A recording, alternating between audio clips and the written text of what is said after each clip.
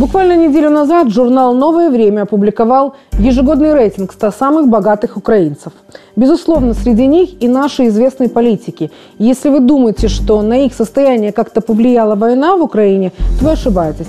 Эти люди богатеют в 12 раз быстрее, чем растет ВВП страны.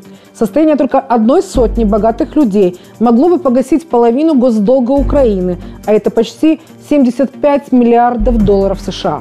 Виллы, элитные дома, дорогая земля и автомобили – все вот это у них есть, не только в Украине.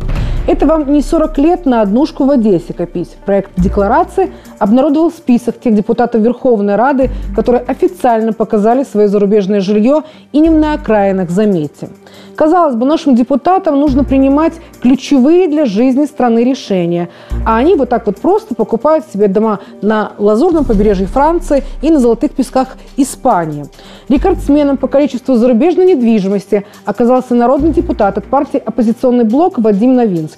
У него 6 гектаров земли и 5 квартир общей площадью почти в тысячу квадратных метров. Не где-нибудь, а в самой России. Там же ему принадлежит недостроенный жилой дом неизвестной площади, нежилое помещение в 450 метров и гараж. Но и гараж слишком большой – 79 квадратных метров. В этой же стране есть и квартира у жены председателя фракции «Оппозиционный блок» Юрия Бойко в 220 метров и паркинг. А вот жена и дочь нардепа Ярослава Дубневича владеют в Латвии торгово-офисным зданием в почти 500 квадратов и 15 сотками земли.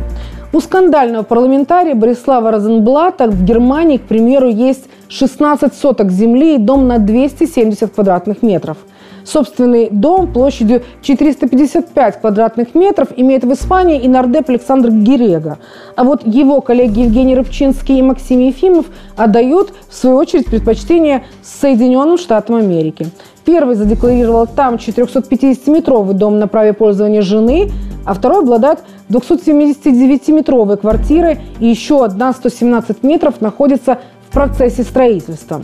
Жена нардепа Руслана Демчака уже, к примеру, три года подряд арендует в Великобритании дом в 355 квадратных метров. В целом же за прошлый год парламентарии указали в своих декларациях 55 объектов недвижимости в 15 зарубежных странах.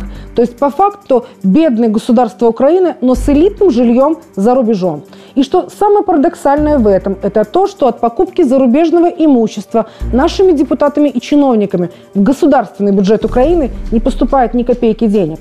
То есть ежегодно зарубежные партнеры вливают в экономику нашей страны миллиарды евро, а они каким-то нехитрым способом оказываются в безразмерных карманах нашей политической элиты и абсолютно бесконтрольно выводятся из Украины.